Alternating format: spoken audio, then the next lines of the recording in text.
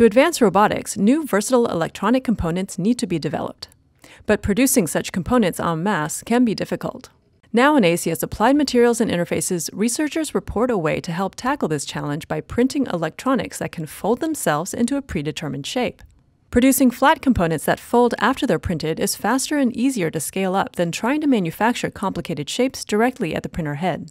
To create these devices, scientists at the Massachusetts Institute of Technology and the University of Massachusetts Amherst formulated a new ink containing acrylate monomers and oligomers that can be cured with ultraviolet light. Energy is stored in specific regions of the device in the form of residual stress during the printing process. After the flat device is printed and removed from the printer platform, swelling forces cause it to fold itself into its final shape without additional stimulus, such as light. This time lapse video shows another component designed to fold with tighter angles. The researchers say the development could lead to new ways for people to interact with machines and even create self folding robots.